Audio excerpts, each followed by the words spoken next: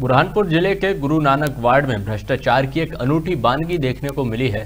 साथ ही यहाँ लीज समाप्त हुई, जगह को भ्रष्टाचार कर बेचने तक का मामला सामने आया है। बता दें कि यहाँ एक प्लॉट की लीज उन्नीस सौ चौरानवे और 2018 में समाप्त हो चुकी थी। उसके बावजूद भी ज़मीन के नामांतरण, रजिस्ट्री और उस पर नवनिर्माण मकान हेतु नगर निगम द्वारा नक्शा भी बना दिया गया है। इसके अलावा प्लॉट पर निर्माण हेतु अनुमति भी दे दी गई है। जिसके चलते नजूल विभाग, पंजीयन और नगर निगम तीनों ही विभाग सवालों के घेरे में खड़े हो गए हैं।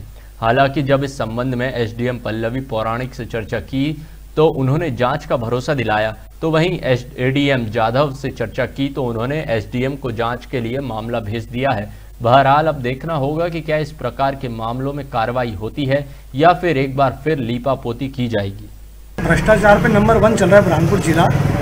अभी तहसील कार्यालय के अंदर नजुल अधिकारी द्वारा लीज एक्सपायर होने के बाद भी नामांकन किया जा रहा है। रजिस्ट्रार, जो रजिस्ट्री करता है, वो रजिस्ट्री कर दे रहा। लीज एक्सपायर होने के बाद नगर निगम बिना एनओसी लिए और लीज एक्सपायर के ऊपर नक्शा पास कर दिए तो ये खुला खुला भ्रष्टाचार चल रहा है और पूरा पैसों का खेल चला जा रहा है। ये आवेदन अभी मेरे समक्ष में लाया गया है। इस आवेदन में जितने भी बिंदु लिखे थे उन सभी की अधिकारी से विधिवत जाँच करवा लें। कब का लीज रेंट है, कब लीज रेंट रिन्यूअल हुआ है कब अंकित धारक के नाम ट्रांसफ़र हुए हैं उसके बाद इस विषय में कुछ भी कहा जा सकेगा एक जाँच का विषय है। लीज एक्सपायर हो गई है है ना? उसके बाद भी रजिस्ट्री हो रही है। तो संबंधित बेच भी रहा है।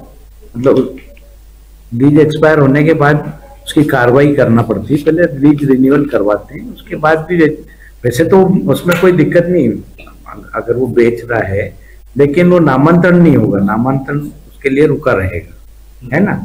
इसलिए जब तक लीज नहीं कंप्लीट हो जाती, तब तक उसका बिक्री नहीं होना चाहिए, ये नियम है।